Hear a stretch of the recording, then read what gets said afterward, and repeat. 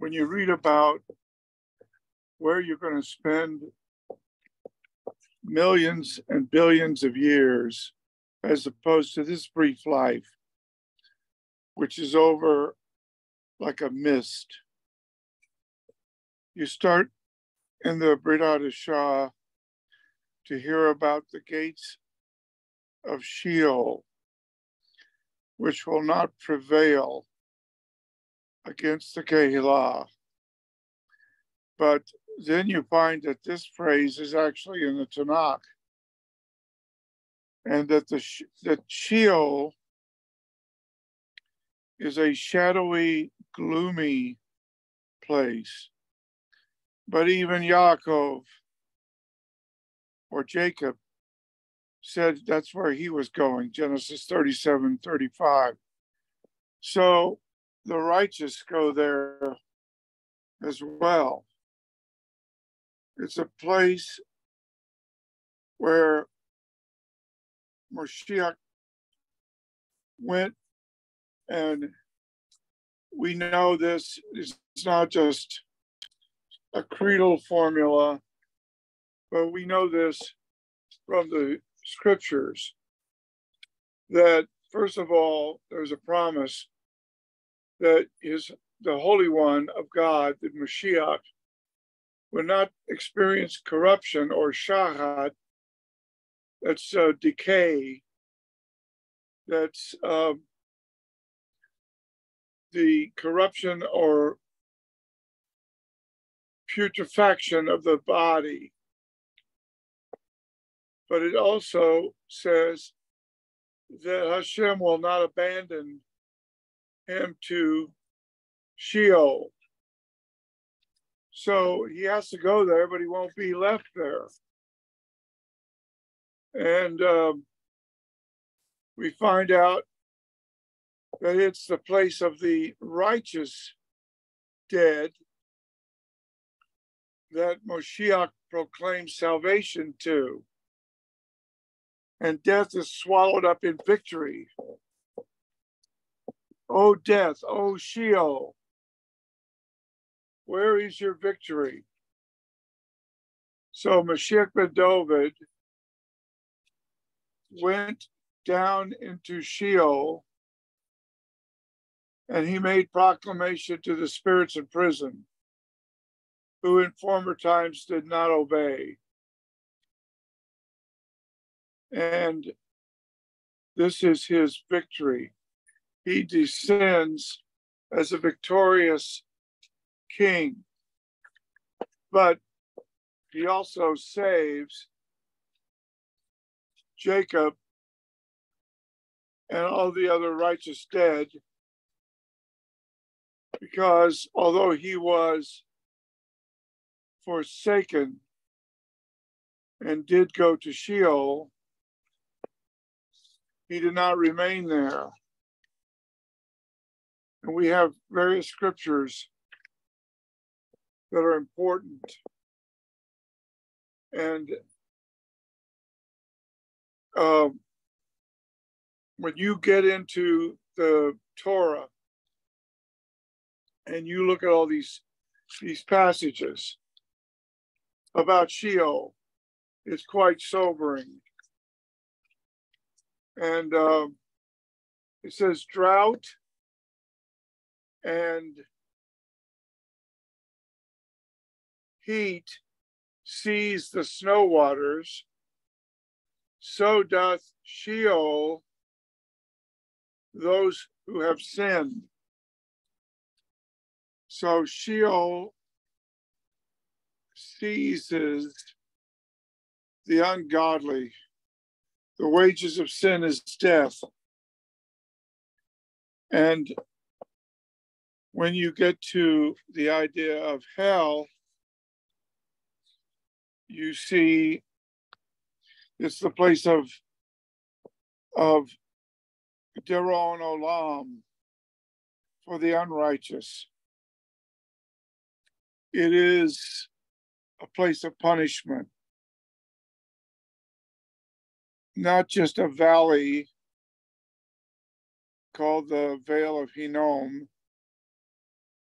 where the Canaanites worshipped Baal and the far god, the far god Molech was worshipped by sacrificing children, as we're doing in this abortion holocaust that's going on.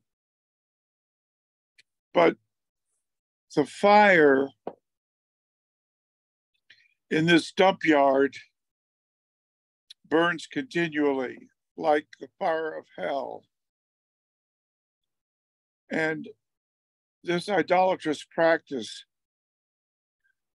uh, the prophet Jeremiah predicted God would visit such destruction upon Jerusalem that this valley would be known as the Valley of Slaughter. And King Josiah tried to clean things up, but when you read about that in Second Kings 23:10, uh, it's a good try, but we know it's not enough. This garbage dump of Jerusalem, where the filth and the garbage of the city, including dead bodies of animals and even dead bodies of executed criminals, were thrown but you know, because it says in a like a rich man in his death, Joseph of Arimathea was right there to get the body from Pilate and put him in a kever, which is a word found in Isaiah 53. And uh, these fires, however, burned constantly. And there were maggots in the filth and when the wind blew from that direction over the city, the awfulness of the odor was quite evident. And also at night, wild dogs howled and gnashed their teeth as they fought over the garbage. And we see these kinds of images. We see hell described this way. We see everyone unfit for heaven winding up there. And uh, the fire is hellfire. And the word Gehenna or Gehinnom is a place of punishment where their worm does not die and the fire is not quenched, where there is outer darkness, where there's fire, a fiery furnace, where there's wailing, weeping, gnashing of teeth, all the things you think of when you think of the valley of Gehinnom or Gehenna. And then in the book of Revelation, you have hell described as a lake of fire burning with brimstone. And that's where the final Fuhrer and his Navi Sheker will be thrown, Revelation 1920. And that's where the, the devil and uh, his angels will be forever as well as all those whose names are not in the book of life. And they will be tormented day and night forever and ever. Revelation 20, verse 10. And uh, we know that the reality is greater than the symbol or the description. Human language is impossible to describe this horror. This is why Moshiach ben David tells you, don't, don't rejoice that your ministry is going so well. Rejoice that your name is written in the Lamb's book of life. Rejoice that you have escaped these horrors that are coming on the world. And uh, before you die, you need a Genesis 4630 meetup with the Savior. Because when you read that portion, you find that Joseph, the Savior of the world, in verse 30, it says, And Israel said unto Joseph, Now let me die, since I have seen thy face. In other words, like Miriam of Magdala, she was ready to die because she had seen the face of the Savior. Joseph Chai, Yehoshua, Yeshua Chai. When you have a meetup with him, when you know him personally, when you know what Rav Shaul knew on the Damascus Road, when you see him face to face, then you're ready to go. You're ready to leave this world. But if you don't know him, if you're a stranger to him,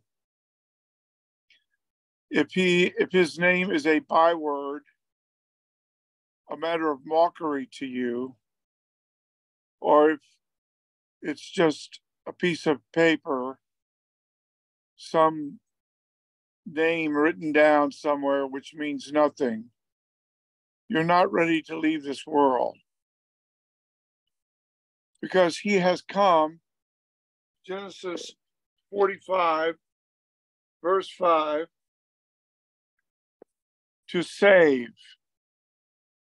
Joseph ben Yaakov said, Now therefore be not grieved nor angry with yourselves that you sold me hither, for God did send me before you to preserve life.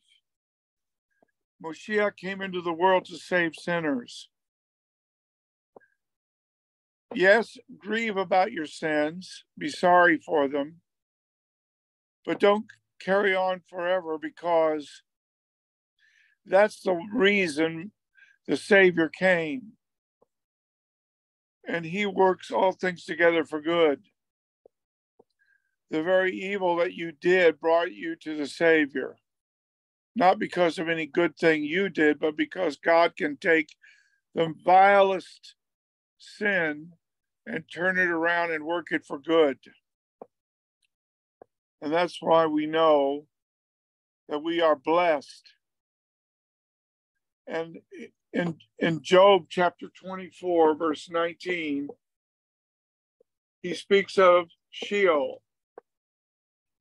And I've been thinking about Sheol all day long as I proofread Genesis, because it's mentioned several times in the book of Genesis drought and heat seize the snow waters, so does Sheol those that have sinned.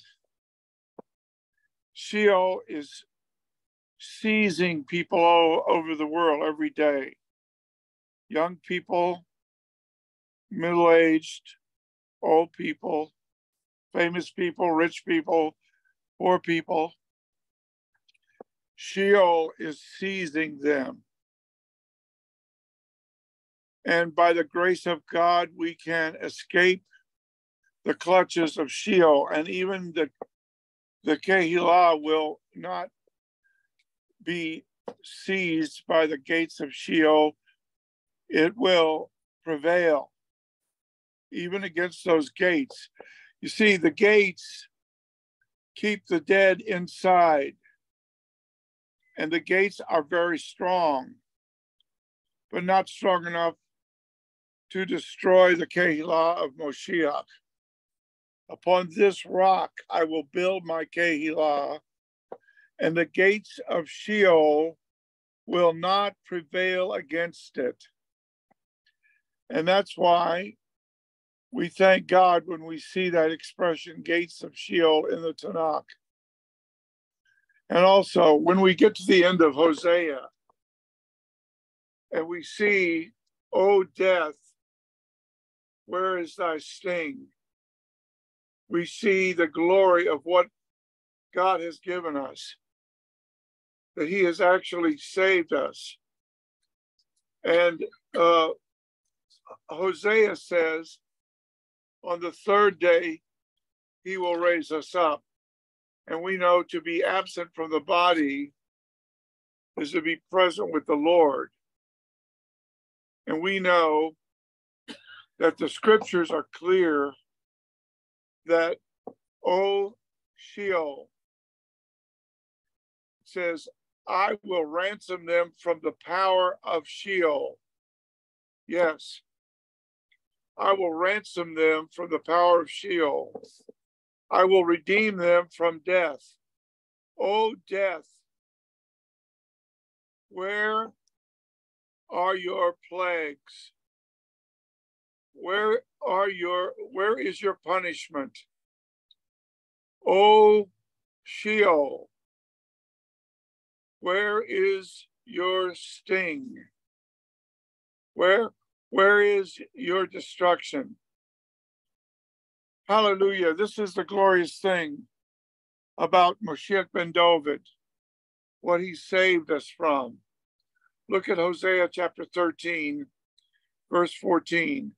I will ransom them from the power of the grave. Moshiach said, I will ransom many. I came to ransom many. Only God can save Israel from national extinction. After its judgment, Israel will ultimately be redeemed and will bring forth fruits of repentance. And this will be realized in the end days. And Rav Shaul applies this verse 14 in Hosea chapter 13 to the resurrection of the Moshiach, which guarantees the resurrection of all believers in Moshiach. But when you're doing what I what I what I have to do as a proofreader, when you have to mull over every occurrence of the word Sheol in the entire Bible, after a while, it starts to sink in. Now, I was going down the stairs at Beth Shalom, and I had a heavy bag of ice, and my right leg just caved in on me suddenly, about seven steps from the bottom. And I sort of took a, a dive toward the floor. I didn't I didn't really have a chance. I should have tried to sit down, but I stumbled forward and went into a dive. One of the founders of uh, Jews for Jew, for uh, for Yeshua uh, may have may have died like that uh, with that kind of fall on the steps of the subway. Uh, he was someone I knew personally well. But anyway, what I'm trying to say is my hand instinctively went out to cushion my fall. And when it did, it slammed straight into the wall. And when it did, my finger next to the little finger dislocated and had a ghoulish, angular look as if it had been torn off.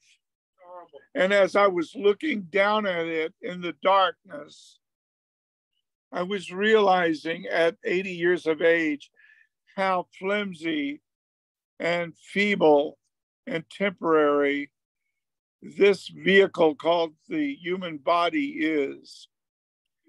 And as I was today, one day later, going through all these Sheol references and exactly what the Bible says about them, it was making a very big impression on me.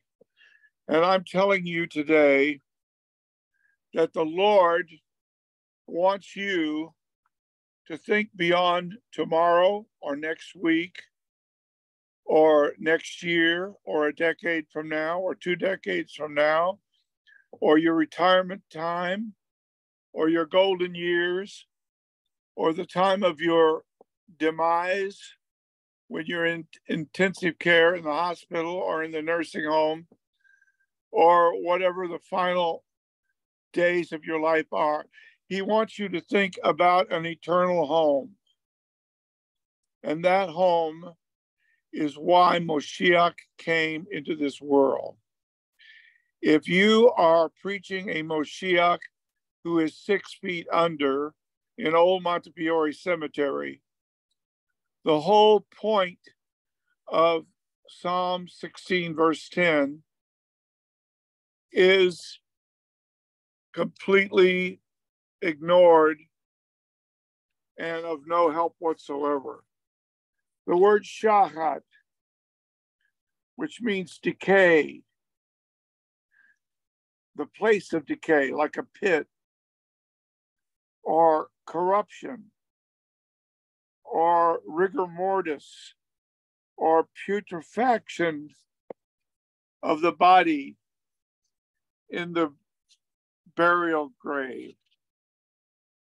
This term occurs about 30 times.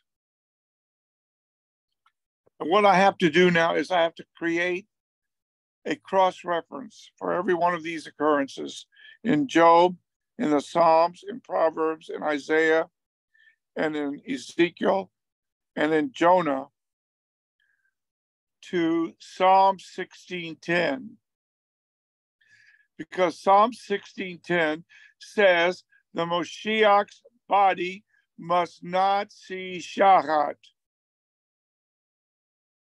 Don't live in la la land.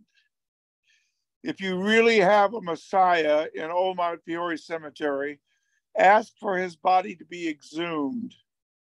When you see the putrefaction, you will be completely relieved of your delusion that this person is the Messiah. Now, I'm going to do this because I want people to know that in Jonah, it says, You brought my life up from Shahat, O Lord, my God. Jonah is spared Shahat. And that's why he is a sign of the Moshiach who is spared Shahat. His body did not see decay. When they looked into the kever, the grave clothes were collapsed and untampered with. The head, uh, the head wrapping was neatly folded up. And it looked as if whatever had been wrapped in the grave clothes simply dematerialized and materialized outside the grave clothes so that the grave clothes simply collapsed neatly in the form of the body that had been there before.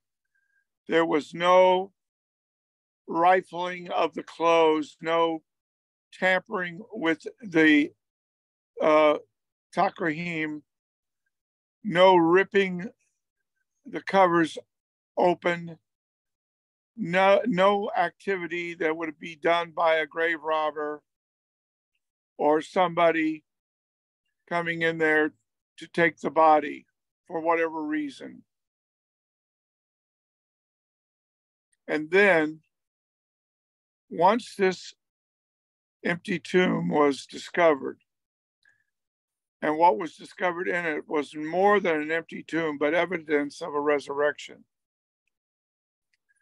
Then the one that was there started materializing in various places on the road to Emmaus, in the upper room, in the Galilee, by the Sea of the Galilee. And uh, he not only materialized, but he dematerialized. And we find out that the Bible is true, utterly, completely inerrant. Now, I can trace my grandfather all the way back 11 generations. He came from England. He arrived in the Boston area and I know his name and all of the sons and grandsons and great grandsons down to my father, down to myself. But the difference between these people and the people of the Bible is you're talking about a family of nomads who can trace their family line back to Abraham, who can trace his back to Adam. And that this family line goes down to Joseph, the Savior in Egypt, and then all the way down to Yeshua, the Savior from Sheol and Gehinnom. And it is a story that is seamless and perfect. Now, there are ignoramuses who call themselves uh, JEWS for JUDAISM, and they try to find flaws or um, contradictions in the Bible. Not so much the Torah, but the Brit Hadashah. But I have a book here called Bible uh, Difficulties, written by Gleason Archer. He goes through all these things and shows that there is absolutely no contradiction or problem in the Bible. It is the Word of God, it is true, and it is inerrant. If you want to, to bet against it, and if you want to go on with your life as it is, and if you try to keep your life, you will lose it. You will lose it to the fire. You will lose it to the gates of Sheol and to the maggots of Gehinnom, which are right there in the last couple of verses of Isaiah. The grave worm is waiting for you. It, it would be the greatest mistake of your entire existence that you would have to regret for coming eons, millions and millions of years in the future to neglect the salvation of your soul. Joseph tells his brothers, Don't feel bad about this. God sent me ahead of you to save lives. God sent Moshiach ben David ahead of you to save souls. And he wants to save your soul. Father, I want to pray right now that someone will come to a saving knowledge of Moshiach ben David. They will turn to him and find him while they can. That they will not wake up on the floor of a basement like I was yesterday morning in the dark with a broken finger, in pain, having fallen, and the ice would not even help me. And I, I know that the Lord was showing me that pride goes before the fall and that every person has the pride that brought Adam and his children down. And we have to repent and humble ourselves and come to the Mashiach like a little child and open the Bible like a little child and read it like a teachable little child. Moshiach ben David, come into my heart, forgive my sins, give me a craving for the pure milk of the Word of God Help me to understand it. Help me to believe it. Help me to turn from all evil and receive it so that my soul will be saved in the day of eternity. And everyone said, Amen. God bless you.